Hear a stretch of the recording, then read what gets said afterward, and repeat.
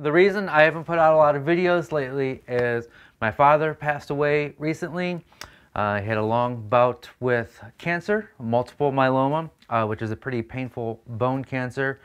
And so uh, I spent the last couple weeks with him in hospice, and he was comfortable and surrounded by family, and um, he left this world peacefully. And uh, so before you guys send me messages and feel sorry for me, you, there's no need to. Uh, I have all the help I need. My family and my wife has just been absolutely incredible. I'm just surrounded by awesome, loving people, so I have everything I need. I'm actually doing well. Uh, I'm more relieved than anything that he no longer has to fight this terrible thing anymore. And so my dad was a tremendously great pool player. Uh, he's been he's been playing in eight ball and nine ball tournaments for many many years, decades, and lots of local pool leagues. And he's very well known in the Northwest Ohio area for his pool skills. His favorite game was nine ball, playing on the big nine foot tables. Um, these are just a small sampling of the trophies. He's got like 40 or 50 of these guys. Um, and so I wanted to make this case as like a little memorial for him originally wanted to put a full rack of the pool balls on here, and I had a conversation with my buddy Jonathan Katz Moses.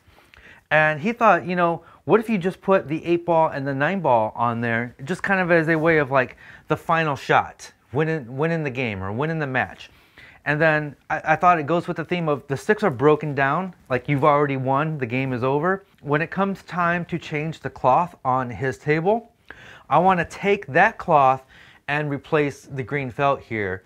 And I think it'll give this even more meaning since it was the cloth on, on, his, on his pool table. And that, uh, I looked at it just the other day and it's a very beautiful blue. And so that is going to, to look great. I'm also going to, I think I'm going to make a little uh, brass plaque that's going to go down here with his, with his name. I have um, various items that he left me and uh, some things that meant something to him, and I don't know what to do with them. So that's why I made this back. I wanted a place to put some of his things, and so it's going to go here. It's not the prettiest thing in the world, but it's functional, and it's not going to be seen because this is going to be hanging on the wall. So there's um, certain documents uh, and stuff that I'm just going to keep back in here. Um, he has like little containers of rings and, and various little knickknacks that I'm just going to put back in here, things that I don't know what to do with quite yet.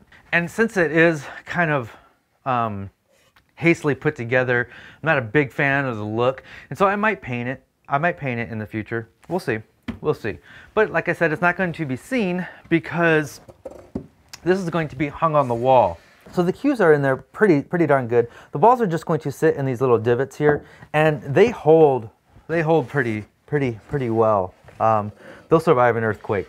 So when it comes time to access the items in the back, of course I need to take them out and then and then pull it off the wall. So a few weeks back there was a contest to win these ISOtunes Pro noise isolating earbuds. 1,374 people entered that contest.